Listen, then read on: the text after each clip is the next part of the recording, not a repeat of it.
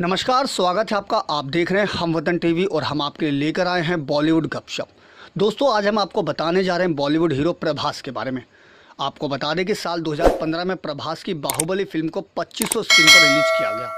साढ़े चार करोड़ के बजट में तैयार इस फ़िल्म ने कुल कमाई 500 करोड़ से अधिक की।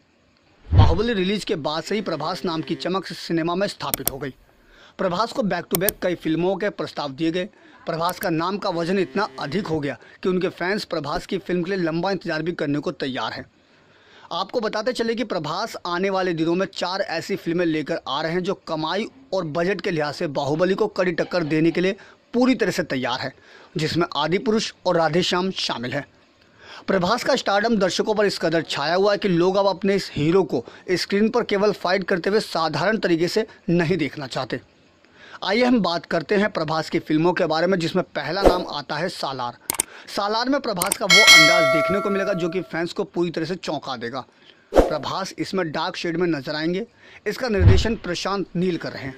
सालार के साथ प्रभास इस फ़िल्म में एक वायलेंट मैन की भूमिका में दिखाई देंगे।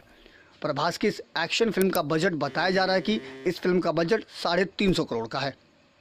प्रभास के फ़िल्मों की सूची में अगला नाम है राधेश्याम का। राधेश्याम में प्रभास का रोमांटिक लुक पहले से दिल में बस चुका है। ये एक पीरियड रोमांस की कहानी है। इसमें प्रभास के साथ पूजा हेगड़े दिखाई देगी। इस फ़िल्म को भी 250 से 300 करोड़ की लागत से बनाने की खबर सामने आई है। प्रभास की अगली फ़िल्म का नाम है आदि पुरुष। ये नाम तो इन दोनों खबरों में छाया हुआ है। भगवान श्री राम की इस कहानी को दिखाने के लिए निर्देशक राउत ने काफ़ी पैसा खर्च करने की प्लानिंग की है। इसका बजट 400 करोड़ के करीब बताया जा रहा है। विजुअल इस फ़िल्म की सबसे बड़ी खूबी होने वाली है। रामायण पर बेस्ड इस फ़िल्म में प्रभास को भगवान राम बनाया गया है। कीर्ति सेनन सीता और सैफ अली खान रावण की भूमिका में है। एक्शन, विजुअल और भारी भरकम डायलॉग के साथ प्रभास की बाहुबली छवि यहाँ भी देखने को मिल सकती है। प्रभास की फ़िल्मों की सूची में अगला नाम है प्रभास 21 इस नाम से भी प्रभास की आगामी फ़िल्म की चर्चा है, जो कि एक दिलचस्प कहानी के साथ आ रही है। प्रभास के साथ इस फ़िल्म में दीपिका पादुकोण नज़र आ सकती है।